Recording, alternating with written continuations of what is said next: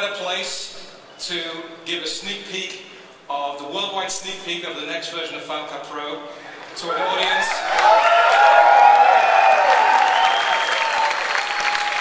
To an audience of 1,700 Final Cut Pro users.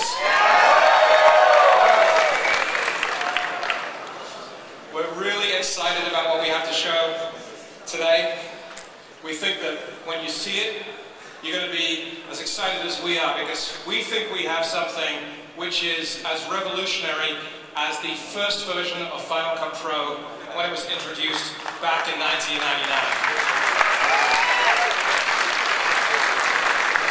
Now, if you remember, that version of Final Cut Pro was revolutionary in a number of different ways, not least of which it was $49,000 cheaper than its nearest competitor. It also happened to be the very first piece of software to deal exclusively with nonlinear editing in software. So you didn't need all that extra hardware paraphernalia to get your content in and out.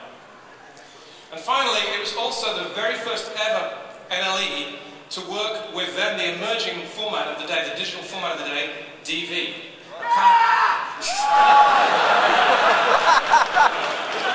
Obviously, a few people still shooting on DV.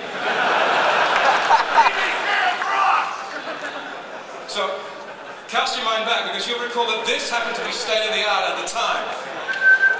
And it was state of the art because it had a Firewire port on it. And you could connect it to the Firewire port on your Power Mac G3. Running Final Cut Pro, and that's all you needed. Final Cut Pro, Power Mac G3, and one of these cameras. So now let's fast forward to where we are today, 2011 and the current version of Final Cut Studio. Now, quite a lot has changed in that time. We've had an entire ecosystem which is built up around Final Cut Studio. We've had uh, manufacturers, camera manufacturers, camera manufacturers as venerable as ARRI, build cameras specifically to encode into ProRes and capture QuickTime files with a specific purpose of working with Final Cut Pro. Now this has meant that we now moved Final Cut Pro into more markets and more market segments than ever before. So now we have every major broadcaster on the planet relying on Final Cut Pro for um, mission critical content delivery day in and day out. Of course, comes as no surprise, of course, that it will be, uh, Final Cut Pro finds itself incredibly popular in also the independent film community. The power and performance, yes, exactly. The power and performance of Final Cut Pro um, and their affordability, the fact that you can walk into an Apple store in any main street in virtually any city in the world and be, pick up everything you need to give life to the vision the, of the documentary that you have in your head is really incredible. At the other end of the spectrum, of course, we have the feature film editors. Now, these are a couple of the films that were edited on Final Cut Pro that were nominated for an Academy Award this year. These are not the only ones. In fact, we had the entire documentary film category was all edited on Final Cut Pro. But the reason why I wanted to highlight these is because, just like you guys, these are filmmakers that are coming back to Final Cut time after time. The Coen brothers and David Fincher have edited multiple feature films using Final Cut Pro. So the bottom line here is no matter which market segment you belong to, broadcast, independent film, or feature film, people love Final Cut Pro. We have a 94% customer satisfaction ratio. That's absolutely incredible. People absolutely love working with Final Cut Pro. And that means that we've steadily built our community up over the last few years. Um, we've now crossed, in the end of last year, over 2 million Final Cut Pro users. Now, what's significant about that is not just the number, but frankly, the angle on the top of the graph here. What we're doing is we're growing that base faster than ever before. So I'm going to share with you a statistic which my competition probably wouldn't be too happy about. But we're growing faster than the nonlinear editing marketplace. We're growing, let's be specific, more than twice as fast as the nonlinear editing marketplace. So what does this mean in terms of where Final Cut sits with its competition? Well, again, according to independent research, when the highest end of our marketplace, the broadcast and post-professional, is choosing a nonlinear editor, they are overwhelmingly selecting Final Cut Pro. So, where does that leave Adobe and Avid? Well, they'd like you to believe that they're competing with us. The truth is, they're in a race for second place.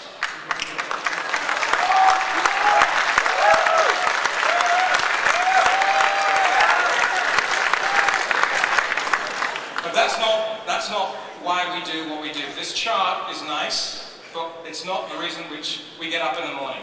What we want to do is we want to create great software.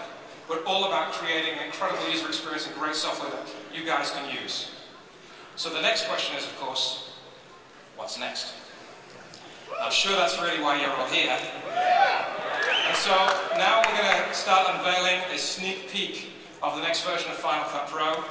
And to help me with that task, I'm going to invite onto the stage Pete Steinauer, who is the architect of the new version of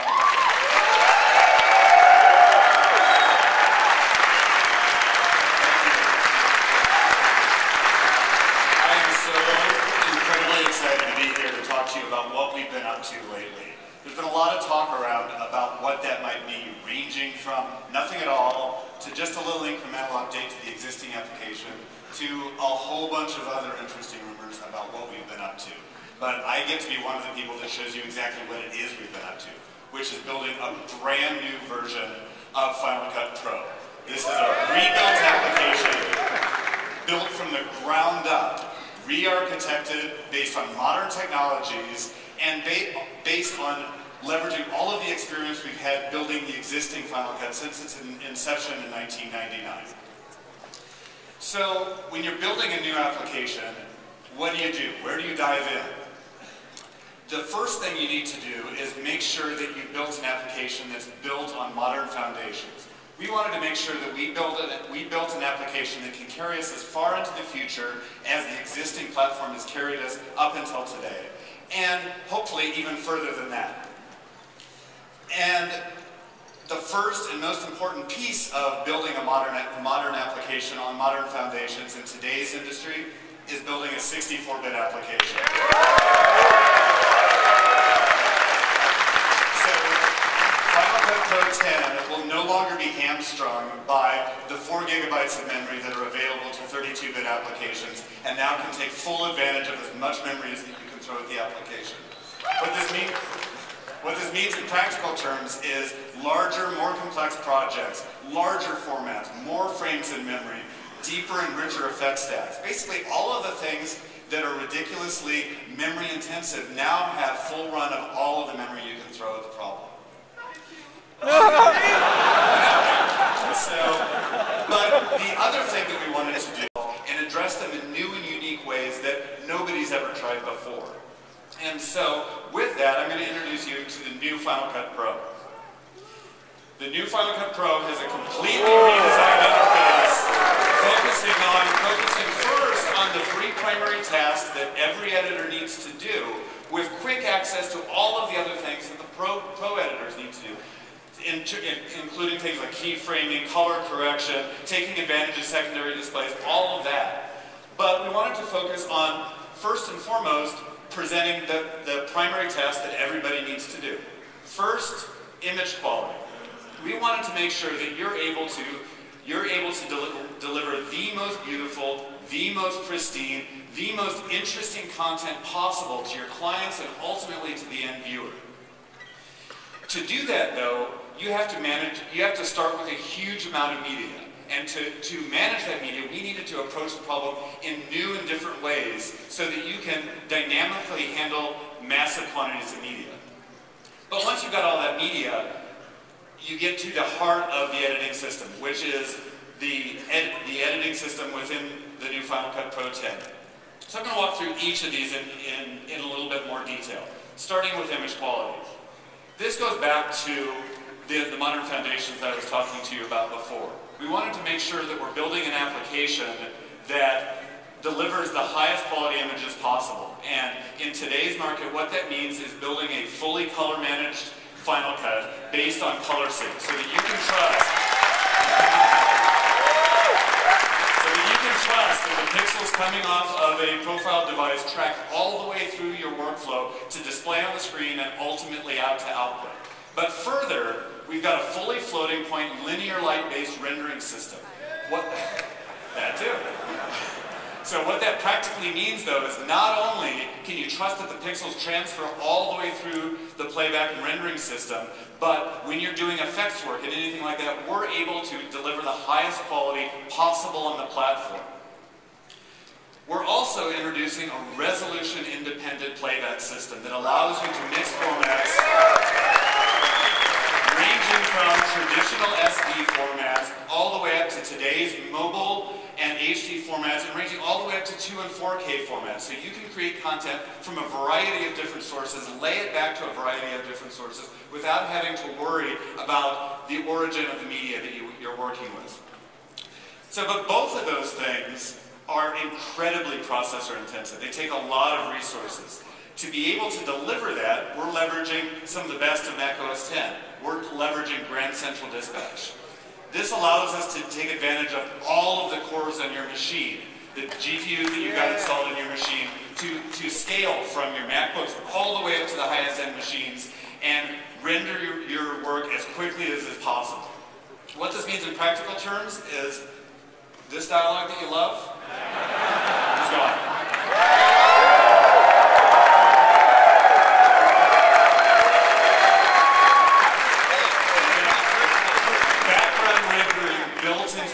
Application, so with every spare CPU cycle that we can that we can glean, we're constantly rendering our sequences, keeping it So, so that at the end of the day, you're using the processor resources for the things that, that you need them to do rather than wasting time with rendering. So that's the image quality piece of the picture. Now let's get into the organization part of the puzzle. And that brings me to the first feature that I want to talk to you about, which is content auto analysis. Everybody in this room is dealing with an ever increasing quantity and quality of media. And you need to be able to get that into the editorial system as quickly as possible and begin editing immediately. And so with the new Final Cut Pro 10, you're able to plug modern cameras such as an AVCHD camera into, into the editorial system and begin the ingest process. And before the ingest is even done, you can start editing. We copy the media off of the, off of the camera in the background and start preparing it for the editorial process. And when we're done, we silently sub it out for you in the background so that you're not interrupted waiting for ingest on the way in. But, but that kind of wasn't enough. That's, that's pretty straightforward, but we also wanted to take advantage of the, the machines again to prep your media for the organization and editorial process. And that's where content auto analysis comes in. We, on the way in, in addition to prepping it for prepping it for editing, we also do do things like some of the straightforward things. Media detection is an audio still, that kind of thing. That's pretty straightforward. But we also kick, kick off background jobs for things like image stabilization. So on the way in, we you just click on the on the single on the single people group, and you can immediately get to your media. We do similar kind of things with shot detection. Go back. Um, with, with shot detection. Stealing my own thunder. Um, with shot detection, so that we can detect medium shots, close-up shots, wide shots. These are the kind of things that don't really add value to your workflow, but you need them for the organization process. We do that automatically for you before you get them in, so when you're doing your organization process, it's based on things that are specific to the particular piece that you're working on today. But we also wanted to prepare it for the editorial and the effects work, and that's where the one that I just got to comes in. Automatic color balance on the way in. Non-destructive color balance.